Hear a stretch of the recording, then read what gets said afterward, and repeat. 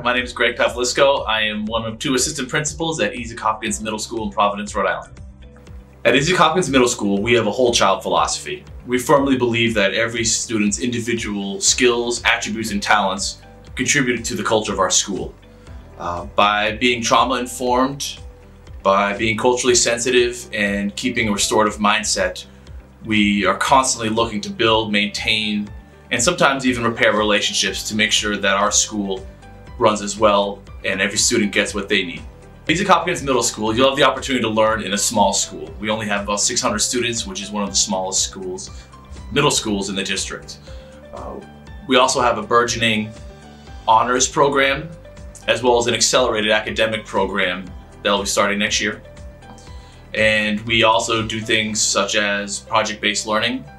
We have teaming, so students and teachers alike will be able to um, maintain tight relationships as well as we have a great opportunity to learn music, theater, and art at our school. Hopkins Middle School also offers a variety of sports on top of our after-school program with PASA. Uh, some of the sports we offer are soccer, basketball, boys and girls, track, cross country, and also wrestling. We firmly believe that each child's experience at the school should be engaging and rewarding. And our climate and culture committee works really hard to plan out activities that are engaging for students, that are culturally relevant, um, and also create a very positive experience at our school. Um, that also comes back to our restorative practices angle, where you know we make sure that um, students are building those relationships with each other, with their teachers, and teachers are building with them and their parents.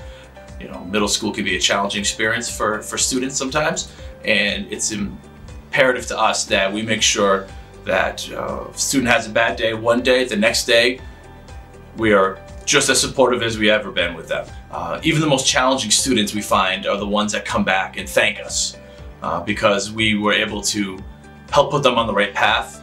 We were able to every day love them as our own. It is extremely important that parents are part of the student's learning experience. Um, we're all in this together. We're all one family at Esek Hopkins and we consider the parents and the families part of our family as well.